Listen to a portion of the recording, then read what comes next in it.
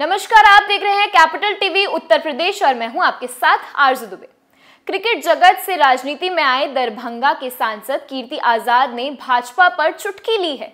उन्होंने बीजेपी के राष्ट्रीय अध्यक्ष जगत प्रकाश नड्डा के साथ, नोएडा के एक लोकल नेता श्रीकांत त्यागी के साथ तस्वीर साझा की है। इस कड़ी में संबित पात्रा ने क्या कुछ कहा, आइए जानते हैं। साथ में जानेंगे कि आखिर श्रीकांत त्यागी है कौन। देखिए इस रिपोर्ट में।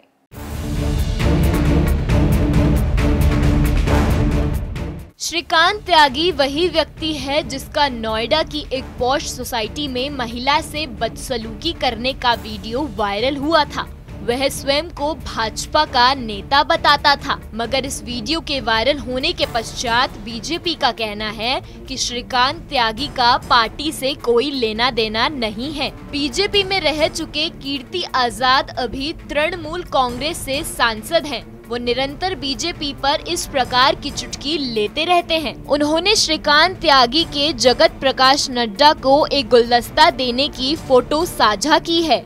वहीं श्रीकांत त्यागी ने जब भाजपा से संबंध होने की खबर आई, तब पार्टी प्रवक्ता संबित पात्रा ने कहा श्रीकांत त्यागी का भाजपा से कोई लेना देना नहीं है। वहीं पार्टी के किसान मोर्चा अध्यक्ष राजकुमार चहर ने भी कहा कि श्रीकांत त्यागी नाम का शख्स बीजेपी किसान मोर्चा की राष्ट्रीय कार्य समिति का सदस्य नहीं है। किसान मोर्चा की कोई युवा समिति का भी नहीं है।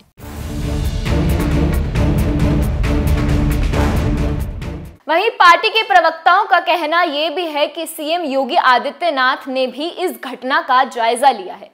अब देखना यह होगा कि सरकार आखिर श्रीकांत त्यागी के खिलाफ क्या एक्शन लेती है, क्योंकि योगी सरकार में महिलाओं से अभद्रता करने वालों को बख्शा नहीं जाएगा।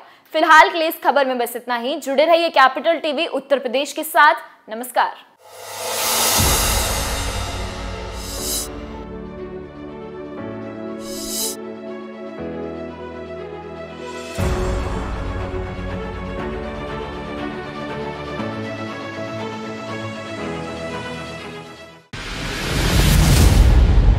मैं राजनीति करता नहीं, पर राजनीति को बहुत गहरे तक समझता हूँ। मैं लोगों के बीच रहता हूँ, लोगों के मन को अच्छे से जानता हूँ।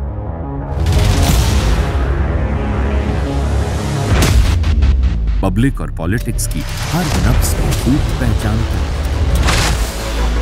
संघर्ष की सियासत से, सत्ता के सिंहासन तक मैं हर खबर से खरा सच निकालता हूँ।